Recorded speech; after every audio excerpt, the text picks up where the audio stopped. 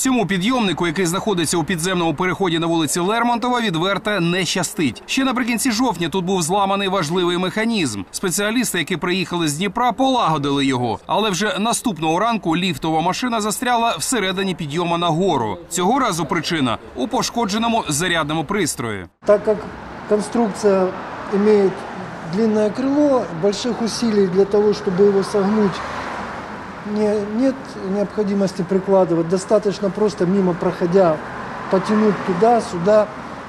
И так как потом не совпадают клеммы подъезжающей станции для зарядки э, с, с теми гнездами, которые тут выставлены, получилось так, что вывернуло всю внутренность содержания зарядного устройства. Враховуючи доступність для вандалів, а також крихкість обладнання, конструкторам було запропоновано змінити систему зарядного пристрою і зробити його надійнішим. Роботи вже завершені. За словами Євгена Дивенка, з наступного вівторка підйомник запрацює у звичному режимі.